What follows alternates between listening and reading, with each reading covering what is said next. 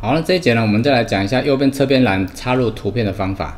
首先，呃，我们先按 Ctrl 造访网站，点击一下到前台来看。好，右边这边，你看我最下面这边有插入，之前有讲到这个文字区块，它可以插入图片跟文字，功能比较多一点。那另外一个功能更单纯的就是这个插入图片。插入图片就可以了。那当然你要用之前这个功能去取代也 OK 哦。但是我们一样讲一下，如果你希望更简单啊，就插入图片就好的话，我们来看一下后台这边的布景主题制定。好，这个次序都要记得哈，我重复讲很多次，每一个章节都讲哦，就是前面这个步骤哈。点击之后进来小工具，然后主要的小工具右侧栏，然后我们去新增一个小工具。这边右边有这个叫做。之前我们讲的是文字，这个，然后我们现在讲的是图片，这边有个图片，点击一下，好，一样，我们把它拉到最上面去，比较方便预览。好，然后呢，把它点开，标题，好，标题我们先不打，我们先先按新增图片，新增图片。好，这时候呢，它可以让你去选择你目前媒体库里面，这这是你之前新增文章的时候有上传过的照片，或者是你自己重新上传一个照片。好，比如说我的 Light QR Code，然后我要选一下，上传一下，然后新增到小工具，好，新增小工具，然后它就跑出来了。那你这边标题你就可以写一下，好，手机扫描。宋豪康，太长了，你看右边这边折行了，太长了。手机两个字拿掉好了，扫描大家就知道手机扫描了，OK。好，这时候呢，它这边还有一个比较特别的哈，连接到哪里去？好，连接到哪里去？那如果你今天是用手机去浏览这一个网站的话，那手机看到这个 QR code 是没有办法扫描的。用手机浏览这个网站的话，它没有办法直接扫，但是它可以直接点击呀。那点击之后呢，它一样可以加入 Light，所以你必须先去取得那个 Light 的网址哈。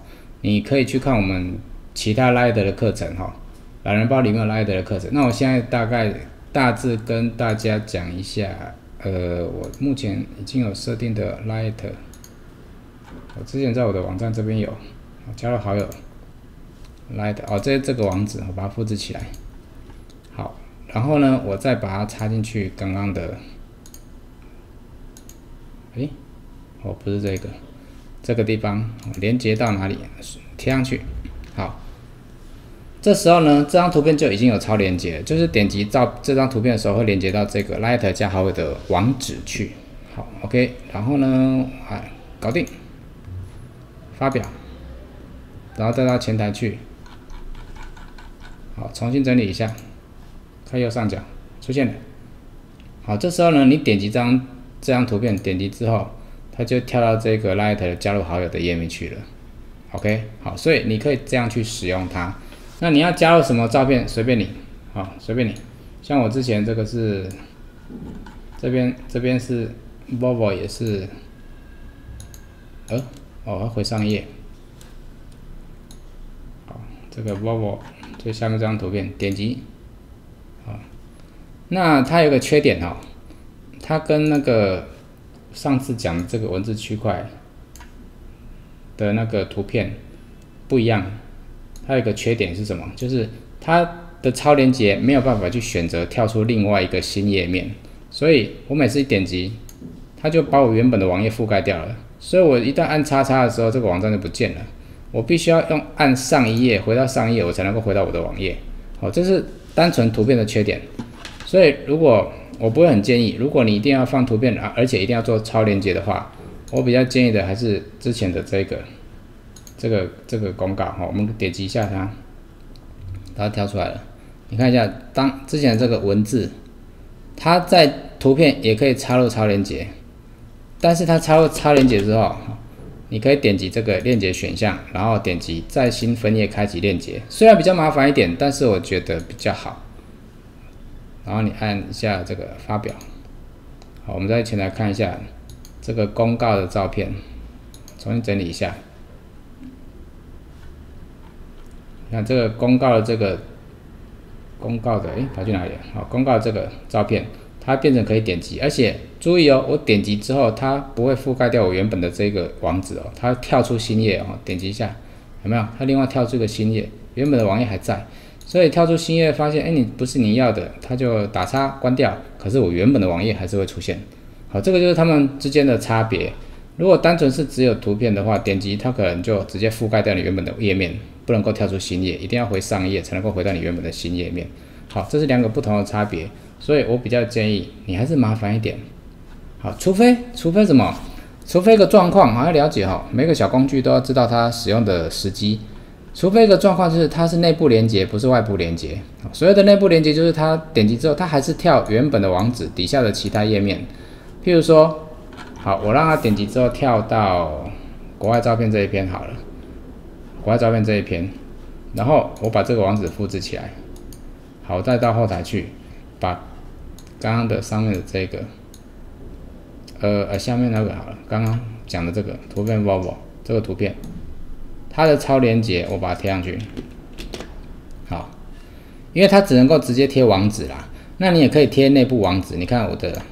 刘爸爸 tutor 点 opers 点 com，这内部的网址。所谓内部网址，就是指同一个网页、同一个网站、哦，同一个网站的意思。好，发表，呃，搞定，发表，然后再到前台去重新整理一下。好，我们拉到最下面去看，拉到最下面来看。Volvo，我点击之后，你看这个网址，我点击之后，它还是跳到。自己的网站，所以这叫内部连接，不是连到别的网站去，是连到自己的同一个网站里面来，这个叫内部连接。好，我现在先回到首页去。好，那你点刚刚的这个图片，点击，它只是连到内页去，有没有？前面的网址是一样的。这种状况，我就可以建议你直接插入图片就好了，因为做内部连接。OK，譬如说。我今天的文章有很多，然后呢，可是文章累积很多之后啊，人家不见得会去点到你想让他，你想要大量出现的那一篇文章。那你可以怎么做？第一个就是你可以把它置顶文章，第二个就是你可以做图片的内部连接。譬如说刚刚的这个 Volvo，我希望把它移到最上面去，让大家都看到，啊发表。为什么我要让大家都看到这一篇？因为重新整理一下，因为我希望人家点击它的时候，好，点击它的时候，就直接跳到这一篇文章来，国外照片这一篇，了解了解我的意思吗？哈，等于说它是一个广告的版位嘛，那点击之后呢，人家就直接跳来你想要广告的那一篇文章，这个这篇文章等于是呃详细阅读详细资料的意思。那这个就等于一个广告的页面，让人家看到，然后点击，因为它曝光率是每一页都会曝光嘛，然后点击之后跳到你要他看的那一个页面，好，所以把它当做个广告的入门页面、看板页面，就好像你去登脸书广告的时候的那一个看板的图文广告，点击之后呢，就是内文 detail 内文的的这个详细阅读内容，OK，好，这个就是这一篇我们讲的这个。图片区块的一个应用。好，下一个章节我们来讲这个近期回响的功能，就是只要有人在你的每的某一篇文章下面做留言的时候，那它可以显示在右边的右侧栏，让你可以看得到哦，最近有谁留言，然后你回复了谁，哦，这边可以马上看得到，这是引起访客的好奇，让他们想要去点击。那每一个访客留言的时候，其实都会发 email，你自己都会收到通知。OK，那你回应的回复的时候呢，对方如果有勾选，呃，要收到回复通知的话，对方也会收到信。